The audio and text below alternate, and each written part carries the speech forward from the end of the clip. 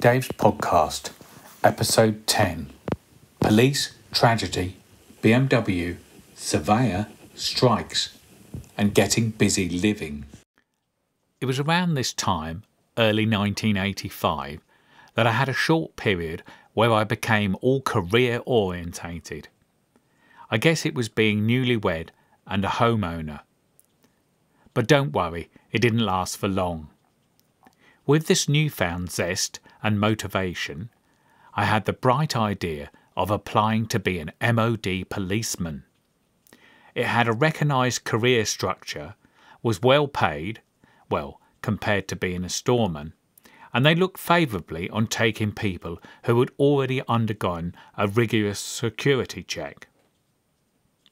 So I filled in the extensive application form. I had an interview. I was then called for a test. I had to write an essay and do some basic maths. I hadn't really done anything like this for a while, as I had left school nearly 10 years ago. But my basic maths was good. All those years working in shops with no fancy tills had helped. In fact, a few years ago, I went on a stag weekend with my nephew. We ended up at the local pub playing darts. Most of these people were under 30, and no one could add up and subtract. I had to do it all. Young people today. Oh my God, I've become my dad. Back to the police. Having done these tests satisfactorily, I was given a medical. And here came a problem. I was 25 and weighed under 10 stone. I was considered a bit light. They were worried I would get pushed over in some kind of anti nuclear protest situation. They kept my application open and said I could go away and try and put some weight on. So I brought some weights, a bench, and a large pack of chicken breasts. Linda's son Mark, who was a teenager at the time, wanted to come and work out as well. So, three or four times a week, we would go through a rigorous training session. After six months, Mark entered Mr. Universe competition, and I put on four stone of pure muscle, joined the police, and became Mr. January in the MOD police calendar. Sadly, that didn't happen. After a few weeks, we got fed up, we sold all the equipment, and I bought a pool table. Before I leave the police story, two things. One is an MOD joke. An old MOD policeman dies, he goes up to heaven. He walks up to the pearly gates. St. Peter greets him. Welcome. What did you do for a living? I guarded all these various MOD bases. I was an MOD policeman. Oh, great, says St. Peter. Watch these gates. I'm bursting for a piss. This is also another point of my life, but for fate and a couple of pound of fat, my life would have been so different. I could have been stationed anywhere in the UK. In fact, it was very unlikely that I would have been offered a position within Aldermaston. So we would have been moving around as far as Scotland or any other MOD base in between. I would probably have been a policeman all my life, and this podcast would have been a lot different. Something like Monday, at the main gate, checking badges. Yes, fine. Yes, fine. Yes, fine. Yes, fine. Move along. Yeah, can I stop and have a look in your boot? Yes, fine. Yes, fine. Move along. Yes, fine. Yes, fine. Yes, fine.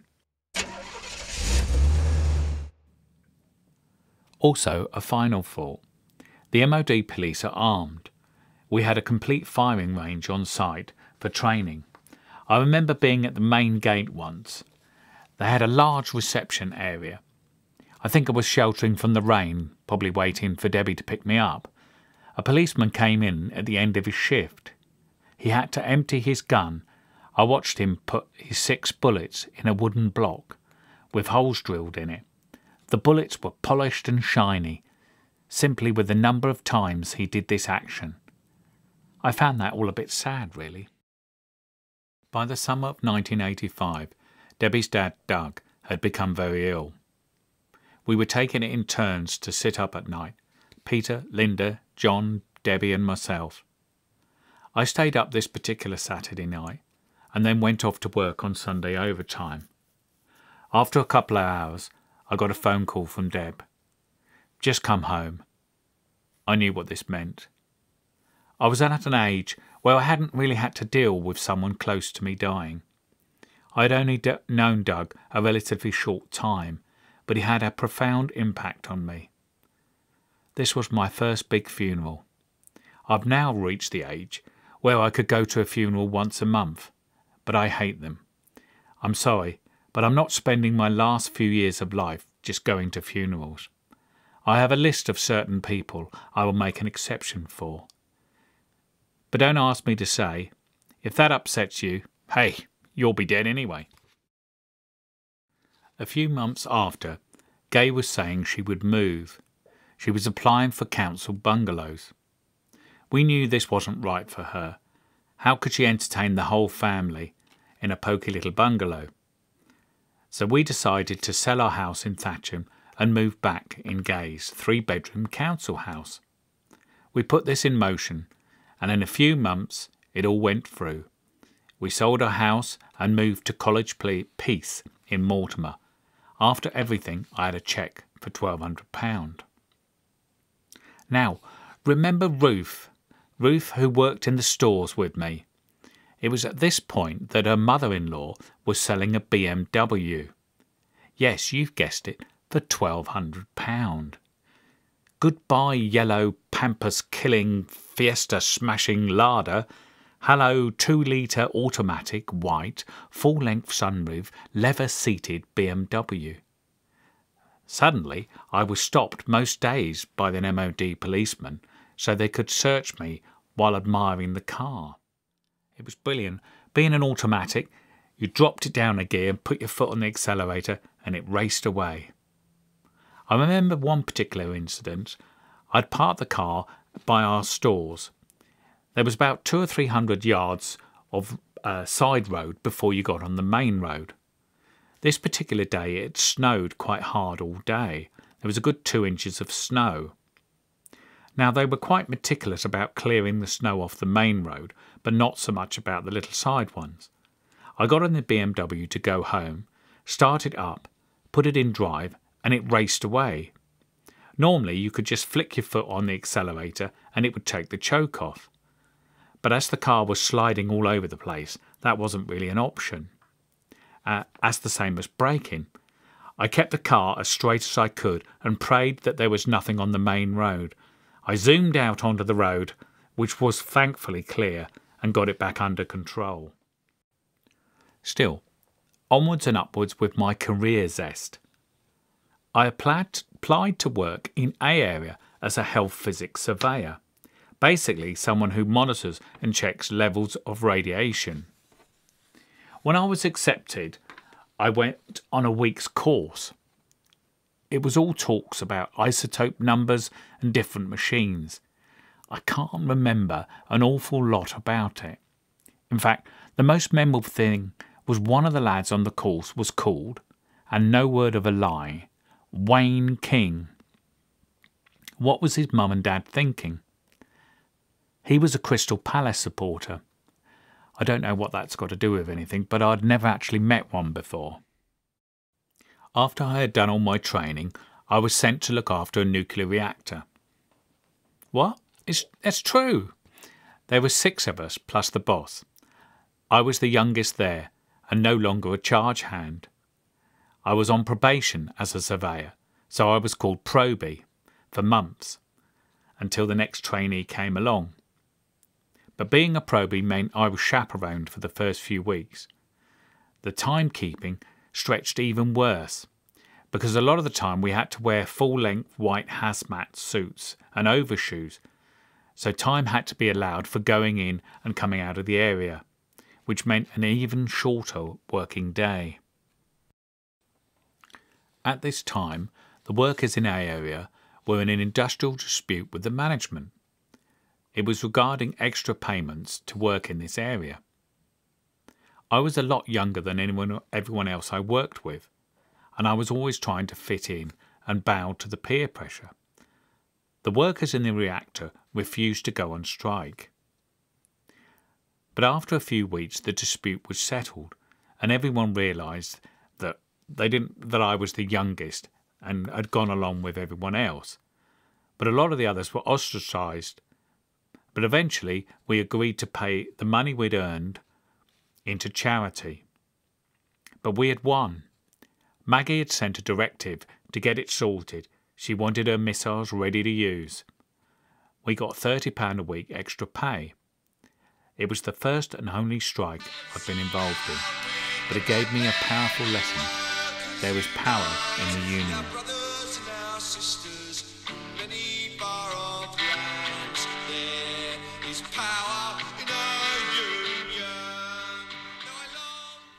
All the buildings at Aldermaston were linked by an intercom. These were always tested on a Friday. Testing, testing, testing. It's Friday, the 5th of September, 1985. Then, at one time, it went testing, testing, testing. All staff. At 4 a.m. GMT time, a device was tested in the Nevada desert. The management thanks everyone for their cooperation and work in this endeavour. Having moved as a surveyor, I was paid a little extra money for emergency cover during lunch hours. This rarely happened, but often they had a test. Exercise, exercise, exercise. All those offering lunchtime cover, please go to building A23. At one time, I was playing a football match and we had to rush off the pitch to get to this building in a certain time, otherwise, we'd be taken off cover. The site also had a social club with an extensively stocked bar at very cheap prices. It had a full foot football pitch and a cricket club, as well as a fishing club where you could fish the lakes on a Sunday. I'm not sure what the fish looked like coming from Aldermaston. If it was the end of the month and I had just been paid, I would often go for a drink Friday lunchtime. I remember one particular incident, and Linda, Debbie's sister, will corroborate this. Someone was getting married. I didn't even know him that well. But half a dozen lads had taken the rest of Friday off. They were having a drink in the club before going on to more pubs and then maybe a club in Basingstoke. Anyway, I had a few pints and then I had a Southern Comfort. And, well, one thing led to another. Somehow they ended up phoning Linda to collect me from a local pub. I had got so drunk that they had to smuggle me off site to a pub in Tadley. They must have found my next of kin details and phoned Debbie, who had no car as I had it on site. Linda came to pick me up at the Badger's Rest public house in Tadley. She came in John's pride and joy, his red XR3. John is really meticulous about his cars. Luckily, Linda had some heavy duty plastic sheeting which she put over the back seat. I was really ill, and she laid me on the back seat with a bucket. I didn't really know till I arrived back rather sheepishly on Monday but so many people had covered for me. My boss had put in a leave form to cover for my absence. Someone had obviously got the correct phone number to phone Deb. They looked after me outside the pub until Linda saved me. I became a bit of a legend after that. I've never been able to stomach the smell of Southern Comfort since that time. A few years later, when I left AWE, my colleagues gave me a bottle of Southern Comfort. I couldn't bring myself to drink it. It stayed in the cupboard for years. I wouldn't get so drunk again until Reading got promoted a few years later. It was about this time that I got into following the mighty Royals. In 1985, they had achieved a record of winning all their 13 games at the start of a season. Me and John went along to the 14th game to see if they could beat the all time consecutive win record held at the time by a small London side called Tottenham Hotspurs. I'm only going to mention football a few times in this podcast. But in the future, I may do a complete series on football. You lucky people. It would start with my first game, age 9, Maidenhead United v Walton and Hersham, FA Cup fourth round qualifying 1971. Yes, I did have to look this up. Coming out after the game, Hey Daddy, why are those fans turning over that mini? Don't worry, son, it's the referees. The Southern Comfort incident actually took place after I had moved within health physics. They tended to move you on after six months so that you could get experience at all the different areas within health physics. I was now in the waste management team with around 20 people. It was the biggest department on the base. But most of it was outside. This was a bit of a blow as we were about to have a bad winter with snow on the ground for long periods. A lot of the work in health physics is regular monitoring. The first job I was put on was air monitors. These were machines that were placed around the waste management area. They were small machines that sucked air through a paper filter. They were alarmed and these often went off, but this was mainly due to natural background radiation. One of the buildings I dealt with was a huge storage building containing 45 gallon drums. These were sealed with items that had been in a area and were thereby considered contaminated. There was talk at the time of depositing them inside some mountain in Scotland, but I suspect they're still there. I felt sad as this building was the size of a football pitch and it would have made a marvellous leisure centre for nearby Tadley who had no such facility. By this time, we had been living with Gay for over a year. It was all going well. We told her she had a home for life. She kept herself to herself, spending a lot of time in her room, where she would watch TV with headphones late into the night. She was still deeply affected from losing Doug. She suffered from hair loss, which hit her confidence and her willingness to go out. Then one Saturday, she suddenly appeared downstairs, all dressed up. She announced she was off to bingo in Reading.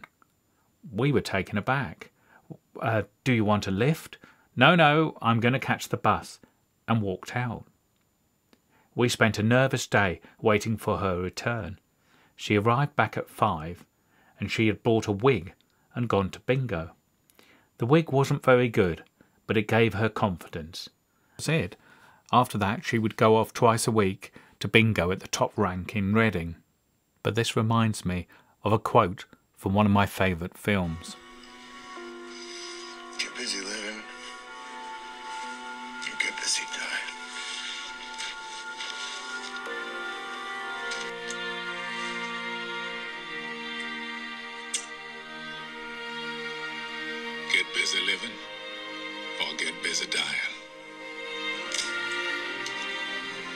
That's goddamn right.